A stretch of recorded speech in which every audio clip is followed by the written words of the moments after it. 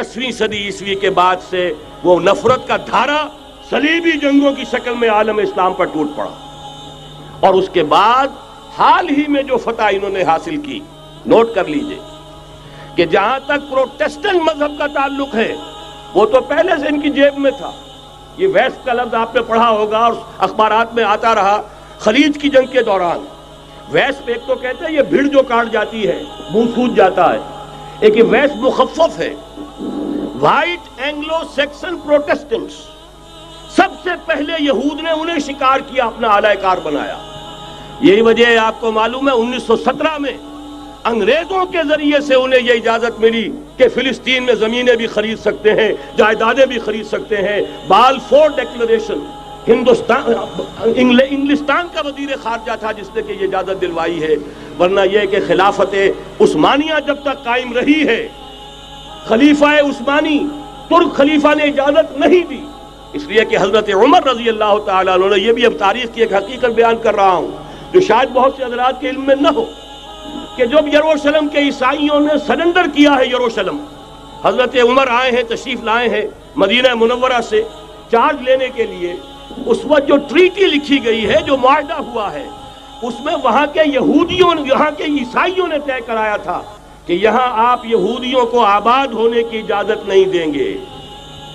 यहूदी आ सकता है, जियारत कर सकता है, अपने मात मुकदसा को आकर देख सकता है, यहाँ आबाद नहीं हो सकता।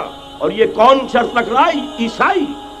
उस वक्त तक ईसाइयों की दुश्मनी यहूदियों के साथ इस दर्जे में थी। और यही हज़रत उमर रज़ी अल्लाह तु की वो शर्त थी कि सलातीन उस्मानिया खुलफा उस्मानिया ने भी हालाँकि यहूदियों ने बड़ी से बड़ी रिश्वत देने की कोशिश की है। सुल्तान अब्दुल हमीद खान को यूँ समझिए कि सीमो जर से खरीदने की कोशिश की है, लेकिन इसके बावजूद उनका कि जो फैसला हज़रत उमर कर गए थे, जो कमिटमेंट रज़ी अल्लाह तु उनकी है, मैं उससे सरे मुँह इनराफ नहीं कर सकता। असल में उसी की तो सदा है, जो फ्री मेसनरी के ज़रिए से खिलाफत का खात्मा कराया गया, कि यही सबसे बड़ी रुकावट है। अगर खिलाफत खत्म न होती और अगर कहीं जिहाद का ऐलान खलीफा उस्मानी की तरफ़ से हो गया होता। तो ये कही थी बात, जब हज़रत शेख उलिंद रहमत जब ये असीरी में थे माल्टा में तो वहाँ का अंग्रेज़ कमांडेंट, उसने चूँकि वो कुछ मुरीद हो गया था या कम से कम अकीदतमंद हो गया था, एक रोज हज़रत शेख उल ने उनसे सवाल किया उस शख्स से कि आप लोग हमारी खिलाफत के पीछे क्यों पड़े हुए? ये तो बीमार, तुम खुद कहते हो, यूरोप का मर्दे बीमार, तुर्की। आपको क्या डर है इससे? आप क्यों इस बेचारी खिलाफत के दर पे हैं? उस शख्स ने जवाब दिया था, मौलाना, इतने भोलपन के साथ बात ना कीजिए। हम भी जानते हैं, आप भी जानते हैं।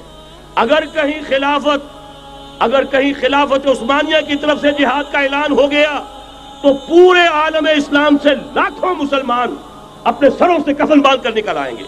आज इस गए गुजरे दौर में भी इस कमज़ोर और यूँ समझिए कि नाम निहाद खिलाफत के अंदर इतनी जान है, इतनी ताकत। लिहाजा उसको खत्म किया गया। और खत्म कराया गया किन के ज़रिए से? वो जो मुसलमान कहलाते हैं, थे फ्री मेसन मुस्तफ़ा कमाल पाशा, फ्री मेसन और उसके ज़रिए से इन्होंने सारे काम जो करवाए, वो दर हकीकत अपनी साजिशों के ज़रिए से और मुसलमानों को इस्तेमाल करके करवाए।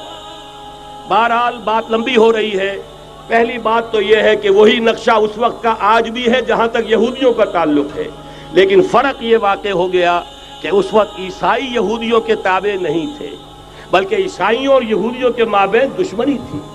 आज यहूदी ईसाइयों पर मुसलत हो चुका है। फरंग की रगे जहाँ पंजे यहूद में है, और आज के फरंग का लीडर अमरीका है। अमरीका का सदर, यूँ समझिए कि वो इन यहूदियों का गुलाम है। मजाल नहीं कि उनकी मर्ज़ी से इधर से उधर हो जाए, और अगर कोई गलती से इधर से उधर हो जाए तो उसका पत्ता चाक हो जाएगा। आप देखिए क्या हशर हुआ है बुश का। हालाँकि बहुत बड़ा हीरो बनकर निकला था गल्फ वॉर से, लेकिन जरा सा एक बयान दे दिया था कि जो इसराइल को पसंद नहीं आया तो जो इलेक्शन में चारों शाने चित हुआ है, उसका जो हशर हुआ है वो देख लीजिए। तो पहली बात तो ये समझ लीजिए कि आज भी यहूदी, ये जीव वर्ल्ड ऑर्डर है, न्यू वर्ल्ड ऑर्डर। और इसमें ईसाई दुनिया, उसकी आलयकार है। अब सूरत हाल क्या है? ईसाई दुनिया, मैं एक बात बता रहा था, बीच में रह गई, कि जहाँ तक प्रोटेस्टेंट ईसाई थे, वो तो पहले इनके हाथ में थे। हाल ही में इन्होंने जो फतह हासिल की है, वो कैथोलिक ईसाइयत को भी अपने हाथ में ले लिया है। चुनाचे पोप साहब ने फरमान जारी कर दिया है कि हमारे खुदावंद यसू मसीह के कत्ल की ज़िम्मेदारी इन यहूदियों पर नहीं है। बरी कर दिए गए। 1900 बरस के बाद, बल्कि 2000 बरस के करीब हो गए उन्हें एग्जॉनरेट कर दिया गया एब्सॉल्व कर दिया गया, इन पर ज़िम्मेदारी नहीं। नतीजा ये निकला है कि अभी चंद महीने पहले जो मुजाकरात सुलह के हो रहे थे, जिनमें यासिर अरफात भी थे और ये, इसहाक रबीन गया हुआ था वाशिंगटन, वहाँ से वापस आया है तो रोम में रुक कर पाप आए, रोम से मुलाकात करके तशरीफ़ लाए हैं। उन्हें दावत दी है कि यरूशलेम आइए और वेटिकान ने तस्लीम कर लिया है इसराइल को और वेटिकान का अब जो है एक एम्बेसी उसका जो है सफारत खाना वो यरूशलेम में बनने वाला है और पोप साहब भी विज़िट करने वाले हैं। गोया कि ये गठजोड़ अब मुकम्मल हो चुका। अब कहीं इसमें कोई कमी नहीं रही। इस यूनाइटेड फोर्स के साथ ये न्यू वर्ल्ड आर्डर इस वक्त आलम इस्लाम पर हमला आवर है। अब इसमें नोट कीजिए कि इस वक्त की फिदा है क्या? आलम इस्लाम में से आलम अरब उनके शिकंजे में जा चुका। क्यों बनाकर खड़े हुए हैं इसराइल को मानने के लिए और सरे तस्लीम खम करने के लिए। उन्हें बुलाकर मैड्रिड में पेश किया गया यहूदियों के सामने कि तुम जिनके साथ एक टेबल पर बैठने को तैयार नहीं थे, मैड्रिड में आओ। आओ अपना कब्रिस्तान देखो। ये स्पेन की सरजमीन, जहाँ तुमने 800 बरस हुकूमत की थी, ये तुम्हारा कब्रिस्तान। यहाँ और बैठो और इनके साथ बात करो। गए थे कि नहीं तमाम फ्रंट लाइन स्टेट्स? मैड्रिड में। हालाँकि कोई बैन अवी कॉन्फ्रेंस कभी मैड्रिड में नहीं हुई। या तो ये वाशिंगटन में, बाद में वो सारे मामला वाशिंगटन में चले। शुरू वहाँ से किया। इसलिए कि न्यूज़ वीक का कुछ अरसे पहले कवर स्टोरी जो थी 1992 is the year of Spain why 1592 was the year of the fall of Grenada. पंद्रह सौ चौदह सौ बानवे में 1492 में गरनाता का सुकूत हुआ और पूरे आइबेरियन पेनिनसुला से एक एक मुसलमान बच्चा बच्चा निकाल कर खत्म कर दिया गया। या ज़िंदा जला दिए गए, या तहे तेज कर दिए गए, या जहाजों में भर भर कर और आपको मालूम है मेडिट्रेनियन की हैसियत क्या है? खलीज है, एक मामूली सी खलीज। इधर से स्पेन का साहिल करीब आ जाता है। स्पेन के साहिल से जहाजों में भरा और नॉर्थ अफ्रीका के साहिल के ऊपर फेंक कर आ गए। पूरे हस्पानिया में जहाँ 800 बरस मुसलमान की हुकूमत रही, एक बच्चा भी मुसलमान नाम का मौजूद रहा। ये था चौदह सौ बानवे और अब आया था उन्नीस सौ बानवे। Nineteen ninety two is the year of Spain. इसीलिए वर्ल्ड ओलंपिक्स रखे गए वहाँ। दुल्हन की तरह सजाया गया हस्पानिया को। और बुलाया गया, तलब किया गया, समन किया गया तमाम दो वाले अरब को, आओ यहाँ बैठो। और यहाँ बैठकर अपने इन यहूदी दुश्मनों के साथ मुसालहत की बात शुरू करो। बहरहाल नोट कर लीजिए, आलम अरब जा चुका है। कोई दिन की बात है, मैं सनसनी पैदा नहीं करना चाहता। लेकिन हालात और वाकयात से निगाहें बंद करना भी कोई दानिशमंदी की बात नहीं है। यह अयोध्या की मस्जिद शहीद की गई। अभी ये एक बहुत बड़ा मज़ार जो है शहीद किया गया और उसके साथ कई मस्जिदें शहीद की गई। ये सब क्या है? ये मुसलमानों की नफ्स देखी जा रही है। कि कोई गैरत और हमीयत नाम की कोई शय बाकी है? जैसे अल्लामा इकबाल ने वो नज़म लिखी थी, अब्दुल कादिर रोहीला। रोहीला बड़ा जालिम जफाज, जफाजू कीना परवर था। लेकिन ये कि उसने जो एक टेस्ट लिया था कि वो जो जो और औरतें हैं तैमूरी खानदान की उनमें कोई रमक रह गई है? मालूम हुआ कि नहीं कि गैरत नाम था जिसका गई तैमूर के घर से। खत्म। गैरत निकल गई। इसी तरह अयोध्या की मस्जिद अब चरार शरीफ और ये कोई दिन की बात है कि अब मस्जिद अक्सा का नंबर आया के आया। उसके लिए पूरी तैयारियाँ हो चुकी हैं। यरूशलेम का मशरकी हिस्सा खाली कराया जा चुका है। उसके अंदर अब पूरा तसल्लुत यहूदी कर रहे हैं। यहाँ तक कि आपके यासिर अरफात साहब ने भी कुछ न कुछ जो है एहतजाज की बात की है। हालाँकि अब तक हर बात मानकर मिनकार जेरे पर था, लेकिन ये कि एक वक्त आता है आखिरकार, उसे भी कुछ बोलना पड़ गया है, लेकिन यहूदी अब पीछे कदम हटाने वाला नहीं है। उनका थर्ड टेंपल तीसरी मरतबा है कले सुलेमानी तामीर होना है। नोट कर लीजिए, उनके लिए वो वही कुछ है जो हमारे लिए काबा है। उनके लिए है कले सुलेमानी। बिल्कुल वही हैसियत रखता है जो हमारे लिए काबा। वो है कले सुलेमानी एक मरतबा पहले नबू के नज़र के हाथों मिसमार हुआ, फिर सन सत्तर ईस्वी में टाइटस के हाथों मिसमार हुआ। सन सत्तर के बाद आज उन्नीस सौ पिचानवे में कितने बरस हो गए? पूरे 1925 बरस हो गए कि उनका काबा जमी बोझ पड़ा हुआ है। अब तक तो उनका बस नहीं था, अब तो बस है कि नहीं? अब उनकी हुकूमत है कि नहीं? अब शाह हसन हो चाहे शाह हुसैन, उनके नौकर और चाकर हैं या नहीं?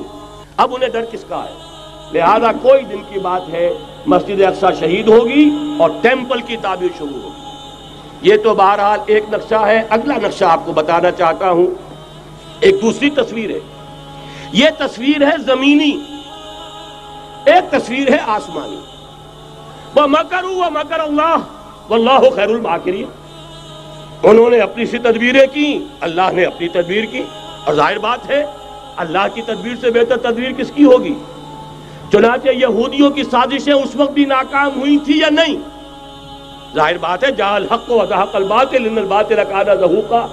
लिहाजा ये आयतें दोनों ऐलान कर रही हैं कि यहूदियों की साजिशें बिल आखिर नाकाम होंगी और दीन हक का बोल बाला होकर रहेगा। ये तो इन आयतों से ज़ाहिर है।